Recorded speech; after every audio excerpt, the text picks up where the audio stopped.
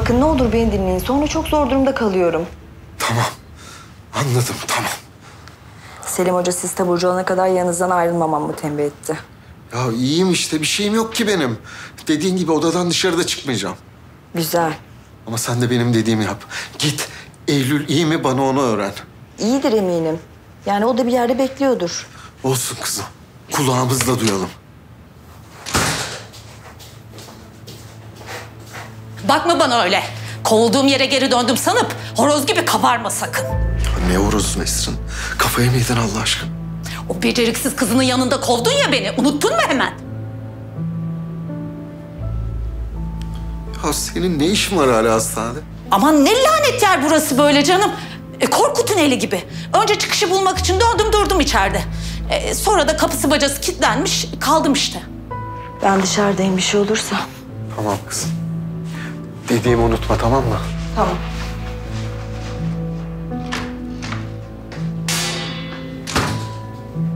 Suratına bakacağım yok yoksa ha.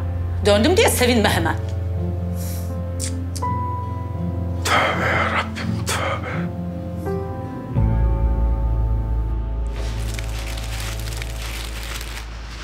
Ay bunlar da film ha. Eylül hocamınkiler mi? Buradan da katta niye kimse yok diye söylendi gitti cici anne. Ay Yonca sendeki soğukkanlılığa hayranım. Yani hastanede silahlı bir manyak var ve sen hala kızının hediyesini paketleme derdindesin. Ee, anne olunca anlarsın tatlım. Ay inşallah.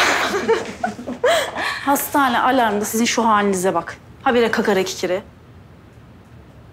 Neyse var mı bir huzursuzluk? Dediğimiz gibi herkese tatbikat var diye açıklama yaptınız.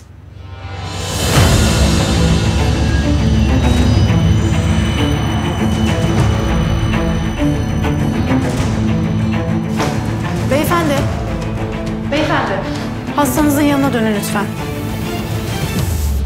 Söylenmedi mi size tatbikat var? Katı terk etmek yasak. Sakin. Sakin. Sakin. Sakin. Anlaşamıyoruz galiba. Tehlikedesin. Herkes öldür. Öldür.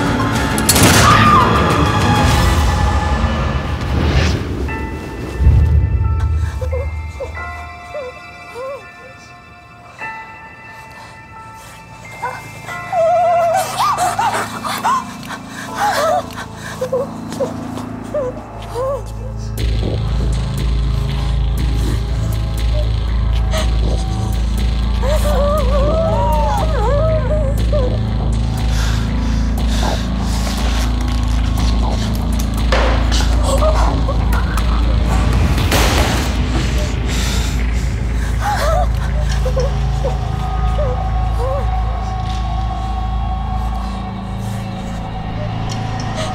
Doktor. Doktor bulmam lazım. Doktor bana yardım edebilir.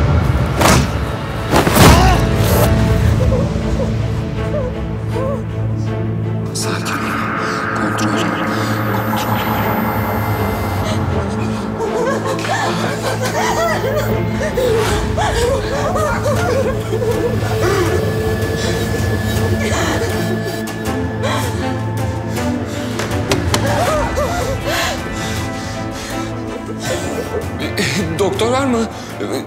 Benim be- be- beynimin içinde bir şey var. E, ç- ç- çıkması lazım.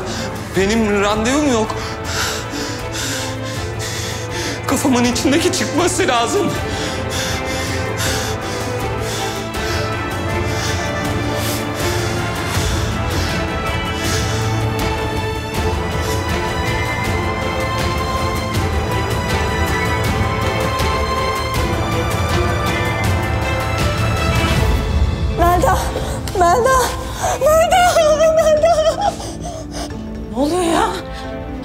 Allah'ım, Allah'ım lütfen koru bizi. Yalvarırım koru bizi. Ne olursun koru. Nesrin sakin ol. Nesrin sakin ol ya hiçbir şey olmayacak.